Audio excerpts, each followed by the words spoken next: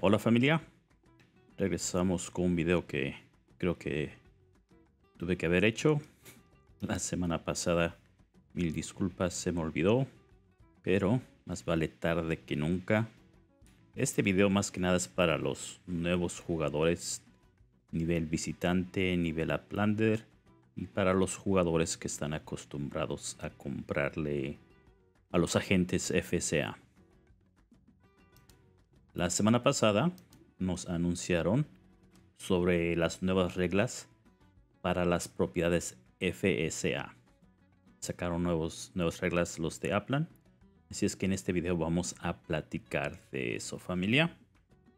Por cierto, voy a subir una vez más este documento en la sala de eventos de Aplan en el barrio. Pero antes de empezar, quiero agradecerle a los miembros del canal que le han hecho staking al edificio este.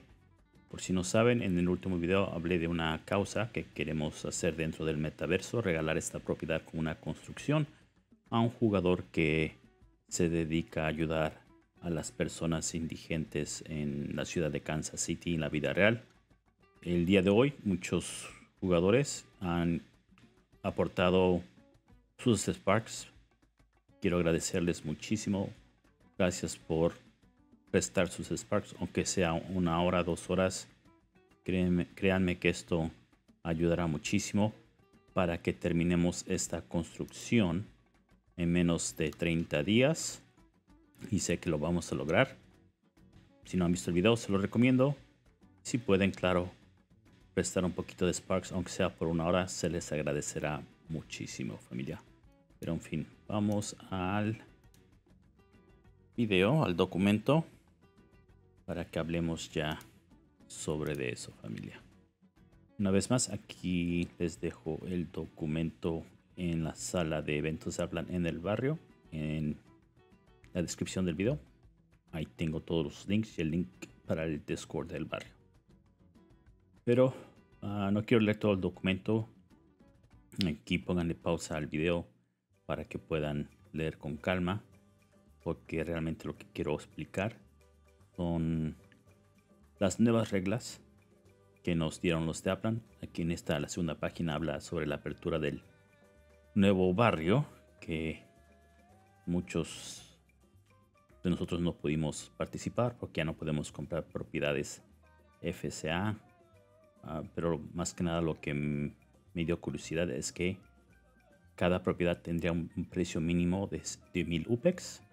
Creo que cuando sacaron Río había propiedades de menos de 1000 UPEX, las más pequeñitas. Pero las más baratas fueron de, de 1000 UPEX. Pero esto es lo que quiero hablar aquí. Donde dice prueba de las nuevas reglas FCA. Las propiedades FCA han sido un tema candente de discusión últimamente. Existe la preocupación que estas propiedades iniciales estén siendo compradas y cambiadas por jugadores más, más experimentados. Para los que ya saben de propiedades FCA, solamente pueden comprarlos los jugadores que son de nivel visitante o Uplander, que tienen un net worth, un valor neto de menos de 100 mil UPEX. Ellos son los únicos que pueden comprar estas propiedades.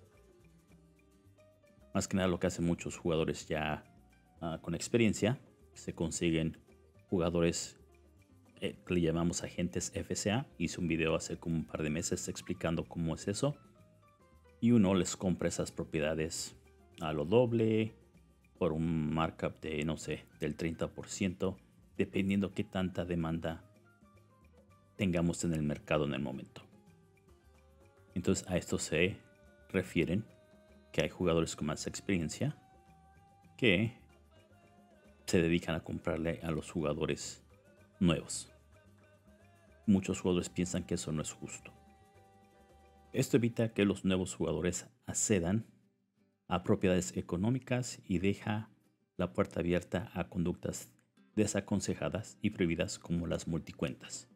Por ejemplo, si yo hago unas 5 o 6 cuentas que no está permitido porque me puede meter a la cárcel de Aplan en el metaverso, me, congelan la cuenta.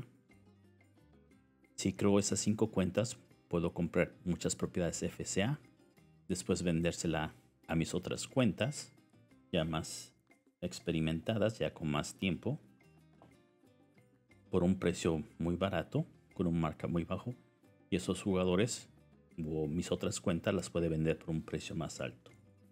A esto se refieren. Los jugadores han hablado y nosotros hemos escuchado. Las pruebas para las nuevas reglas FCA comienzan el viernes 5 de agosto, cuando se abrió ese nuevo barrio en, en Brasil, en Río. Estas nuevas reglas afectan a todos los jugadores Taplan y están diseñadas para que las adquisiciones de propiedades sean justas para todos, que es exactamente lo que se trata la FCA, que sean son propiedades justas para nuevos jugadores. Se podrán en vigor dos normas. Aquí vienen ya los cambios. Los jugadores podrán acuñar un total de 30 propiedades de la FCA durante la vigencia de su cuenta. Esto es un gran cambio familia, porque antes no, se no había límite de cuántas propiedades FCA un jugador podía comprar. Siempre cuando no se pasara de los 100.000 UPEX de valor neto, uno podía comprar, no sé, docenas de, de propiedades FCA. Este es el primer cambio. Los jugadores pueden acuñar un máximo de tres propiedades FCA por día. Ese es otro cambio muy drástico. Quiere decir que por 10 días consecutivos, si compro tres propiedades FCA, ya no podré comprar más. Aunque mi valor neto sea menos de 100 mil, ya no me van a dejar comprar propiedades FCA. Este es un gran cambio. Este me gusta más que el otro. Este me gusta porque hace que esas multicuentas que le meten, no sé, 50 dólares al juego o 25, no se aprovechen y compren unas 20, 30 propiedades en un día que son FCA para después venderlas a sus otras cuentas principales. Entonces, en estas, este nuevo cambio sí me, me gustó a mí en lo personal. Estas reglas brindan garantías adicionales para los nuevos jugadores y se combinarán con la regla existente de que las propiedades del, de la FCA solo pueden ser acuñadas por jugadores con un patrimonio neto, un valor neto, inferior a los 100.000 UPEX. Las dos nuevas reglas de la FCA no se aplican de forma retroactiva y por lo tanto las acuñaciones anteriores de las FCA no cuentan para el límite de por vida. Por lo que entiendo, si ya tengo un mes en el juego, aún soy de nivel visitante a Plander, no he pasado mi, mi valor neto de 100.000 UPEX, por lo que entiendo, a mí sí me van a... No me van a contar las FSA que ya compré. Es lo que entiendo. Desde el día 5 de agosto, entonces cuando solamente obtendré un límite de 30 propiedades FSA más ya por vida. Para acuñar a los para ayudar a los jugadores a realizar un seguimiento de estas nuevas reglas, su estado actual se mostrará a través de la ventana emergente de confirmación que aparece cuando los jugadores intentan acuñar una propiedad FCA. Cuando uno quiere comprar una propiedad familia, lo que pasa es que nos sale un mensaje diciendo seguro que quieres comprar la propiedad y creo que ahí es cuando sale el mensaje diciendo ah, te quedan 20 propiedades más FCA que puedas comprar. La verdad no lo he visto cómo es el mensaje, si alguien sabe, si alguien la ha salido, suban una captura en el barrio para que podamos ver cómo es eso.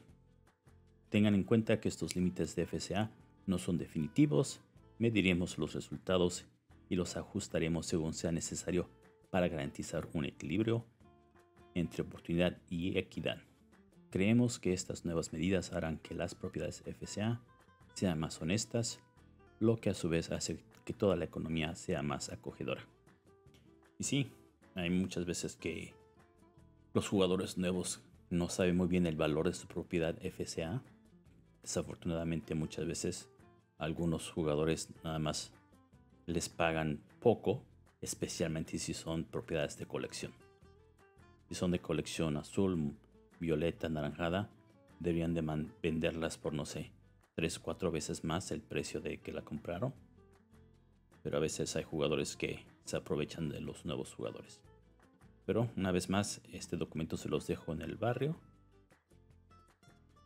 Esto afecta a los jugadores nuevos y a los jugadores que están acostumbrados a comprarles los que llamamos agentes FSA.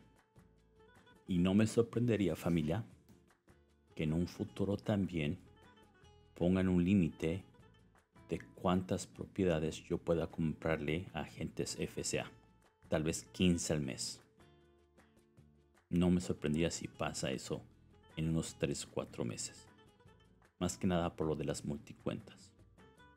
Pero bueno familia, espero que este video les haya ayudado un poquito. Una vez más, muchísimas gracias a los miembros que han puesto sus Sparks en, en esa construcción. No importa que lo dejen ahí por un par de horas, un día, dos días, el tiempo que lo puedan dejar se les agradece muchísimo para que en 30 días regalemos esa propiedad a nombre de la comunidad para una buena causa.